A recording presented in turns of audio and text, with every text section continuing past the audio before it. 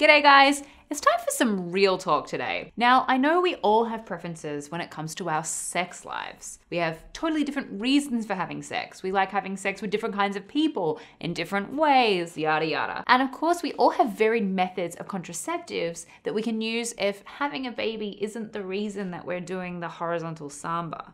Or is it the mambo? Do the mambo, do the mambo.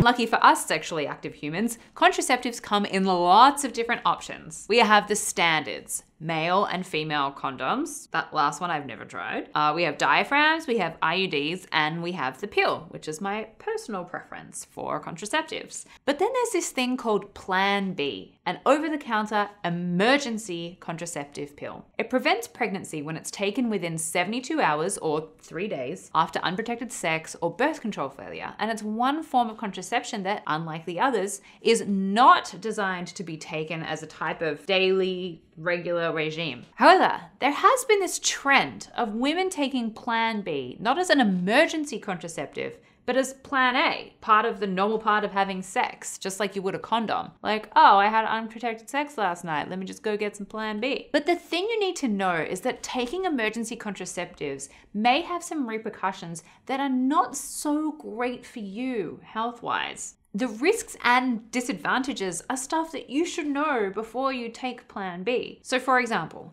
According to studies from Princeton University, progesterone only emergency contraceptive pills, such as Plan B, can change the length of your monthly menstrual cycle, making your next period come as much as a week earlier or a week later than usual. Some who have taken emergency contraceptives also find that the hormones in the pills can cause unexpected bleeding. If you decide to take Plan B or another emergency oral contraceptive in lieu of a normal means of preventing pregnancy, you're constantly messing up your cycle, which also makes using other contraceptive forms more difficult. That might seem quite minor, but it's not only that. Taking emergency contraceptives results in a huge increase in the manufactured hormone levonorgestrel, which prevents fertilization by thickening the cervical mucus, gross, and closing off the cervix. Excess amounts of levonorgestrel can result in documented serious side effects like depression, significant weight gain, gallbladder disease, and hypertension. Let me just put this into perspective. Consider that in one birth control pill, there's 0.5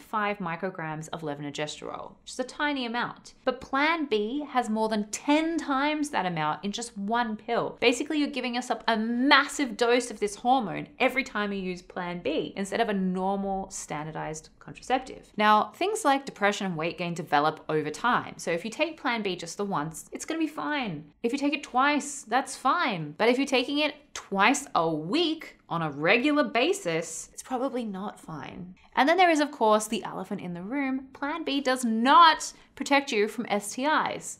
So, unless this is your long term partner or someone that you have a lot of trust in and you've seen their recent STI test, taking Plan B with said person is really risking your sexual health. And you need to protect that sexual health if you're planning to have lots of sex with lots of people and also do it safely. So, to wrap up this kind of awkward conversation topic, don't use Plan B as a regular birth control contraceptive. Use condoms, which protect you from both pregnancy and STIs. Or if you don't like the feeling of condoms, use another method. Try an IUD or the pill and be aware that you are at risk of STIs. Or try sleeping with just one partner who you trust and who's been tested. Please don't get me wrong, there's nothing to be ashamed of or worried about if you have to use Plan B in an emergency situation.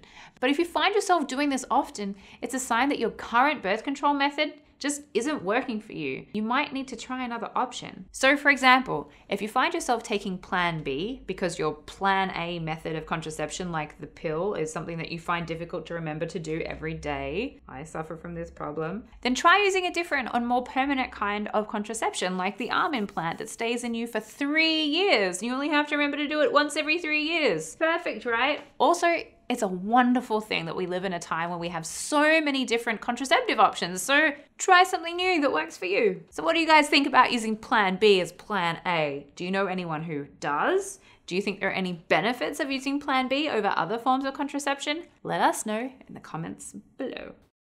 Hi everyone, I'm Jade Lovell, resident science nerd on the Young Turks Network. You're watching SciQ and we know you don't want to miss an episode, so please click the subscribe button down below.